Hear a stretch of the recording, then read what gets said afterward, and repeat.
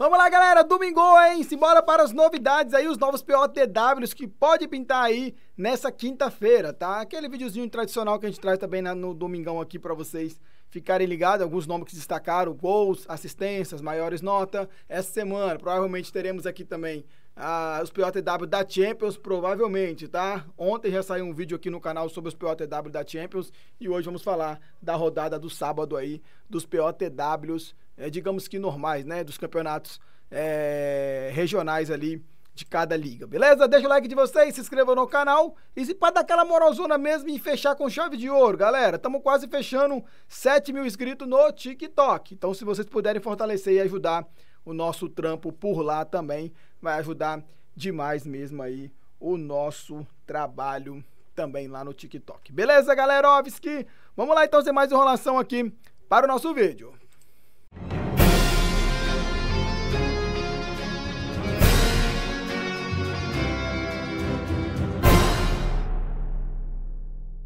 Beleza, galera? Então voltamos aí, manos. Hoje vamos fazer um pouco diferente, tá? Hoje eu vou dar para vocês lá, lá, dá não, né? Lá ele, né? Hoje eu vou mostrar para vocês aqui então, é, os jogadores aí, as situações aí de cada jogador, gols, né? Vou mostrar para vocês aqui um pouco mais de, digamos que embasamento aqui em cada jogador, tá? Deixa eu ajeitar para vocês aqui. O primeiro vamos falar do Luiz Soares, tá, galera?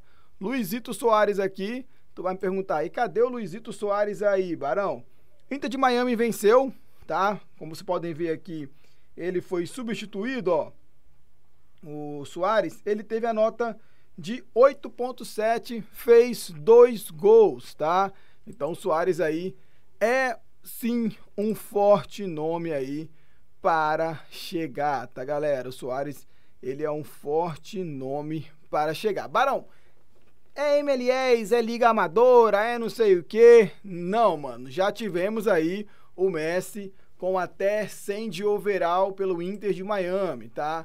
Então, sim, Soares é uma realidade, mesmo sendo aí uma liga, é, digamos que amadora, tá? Soares é uma realidade, sim, para você que está perguntando é, a respeito do Luizito Soares, beleza? E além aí do Soares, manos, temos aí o Bayern de Munique, tá? Mais uma vez eu vou trazer para vocês Jamal Musiala, ó, lá em cima lá, dois gols, nota 10 aí para o Jamal nessa partida. Se eu não me engano, já é terceiro ou quarto final de semana que o Musiala, ele se destaca, tá, mano? Pelo Bayern de Munique e já há algumas semanas ele não vem. Então, mais uma vez aí, é a possibilidade muito grande do Jamal chegar na como seu POTW da semana, tá? Possibilidade porque, é, como por exemplo a última rodada aí que eu citei, o Real Madrid, Vinícius Júnior fez gol, vamos falar dele também, e acabou vindo o Ardan Gullit, tá? Então, além do Jamal, o Kimmich de lateral direito, se vocês notarem aí, lá do lado de lá, o Kimmich fez 8.4 e foi o segundo maior pontuador dessa partida aqui do Bayern de Munique. Eu não sei se o Kimmich deu assistência, deixa eu dar uma olhadinha aqui. Tem uma assistência ali do Kimmich para o Harry Kane, tá? Mas pela nota, né, mano? A gente imagina que pela nota 10 do Jamal, seja o Musiala aí chegando pelo Bayern de Munique, tá? E agora sim aqui, Real Madrid, 4 a 2 mais uma vez também, a gente vai estar aqui apostando no Vinícius Júnior. Ele já veio carta é, POTW com ímpeto, tá? Mas nada impede de voltar o malvado aí mais uma vez. Dois gols, 8.3 aí para o Vini Malvadeza, tá, mano? O jogador aí fez dois gols. Porém, como vocês podem ver aí, o maior pontuador da partida foi o Federico Valverde, tá? Então, além do Vini Malvadeza e do Malvado, o Valverde aqui também é o segundo jogador aí com mais possibilidades de chegar com sua carta em destaque. Vale lembrar que tem ali, ó, o Cavarral fez 7.7, então, é, dependendo de quantos jogadores defensivos é, tiveram um tipo de pontuação alta tal, então o Cavarral também ali corre por fora, lá em cima tem o Brian Dias também correndo por fora aí como grande possibilidades também de pintar com esses jogadores POTW, tá? Goleiros, galera, também mais uma semana aí que vamos falar do goleiro do Mallorca, tá?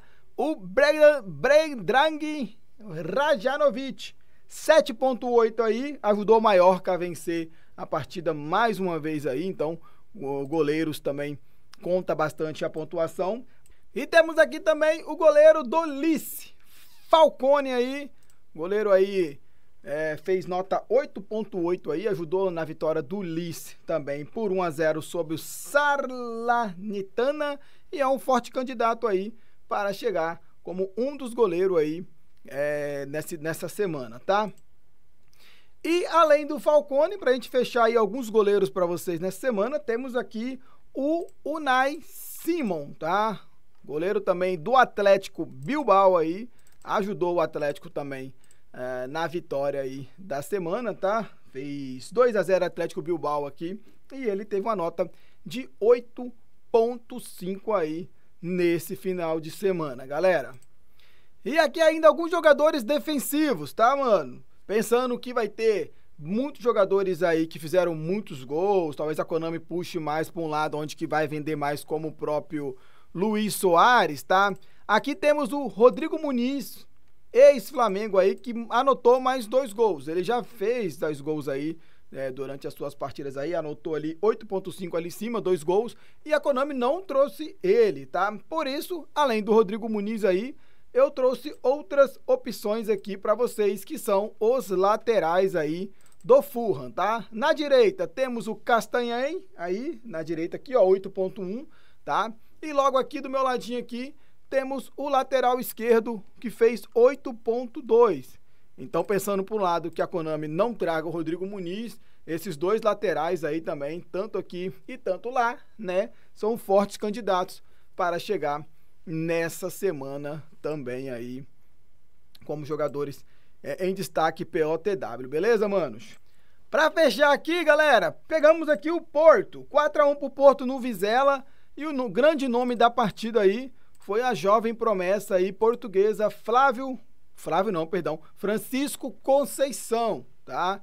Como vocês podem ver ali em cima ali, anotou gol, fez uma, uma partida muito boa, 8.7 aí para o Francisco Conceição e ele também é um forte candidato então para essa semana aí, o jogador Francisco Conceição. Vou até dar uma olhada se ele deu algum, alguma assistência. Não, ele só fez gol mesmo aí, é, o Francisco Conceição, tá? Manos, comenta o que vocês acham a respeito aí.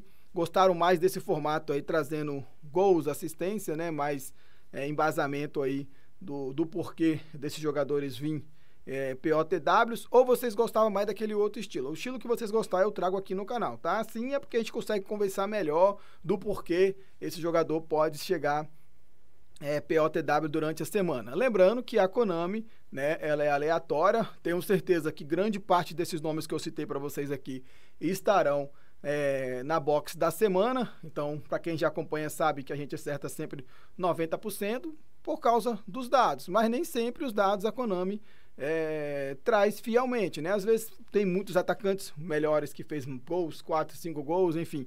Né? A Konami acaba trocando, às vezes ela escolhe o jogador que ela quer mesmo é, é natural, tá? Essas coisas é, acontecer. Mas se vocês acharem melhor voltar da forma que era antes, eu trago também é sempre o melhor que o público escolher, tá? Lembrando mais uma vez também que esses jogadores são jogadores da rodada de sábado, tá? Da rodada de domingo eu trago numa terça-feira e Copas não conta, tá? Lembrando que Copas aí não conta se você está me perguntando, Barão, e aqui o Manchester City, tá? Cadê o City aqui, ó? Venceu por 2 a 1 com dois gols do Bernardo Silva.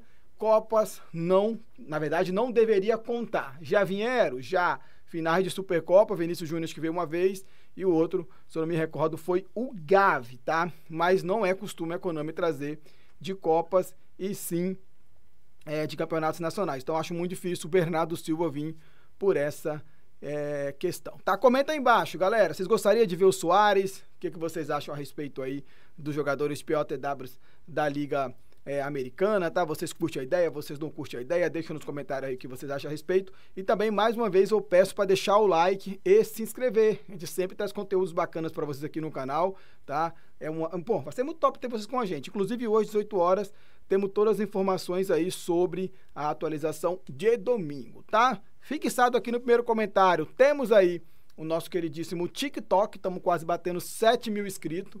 Tá? A gente precisa de 10 para conseguir a monetização. Então, se puder ajudar, vai ser muito top mesmo, tá? Muito obrigado a todos e é nóis, galera. É isso aí. Valeu.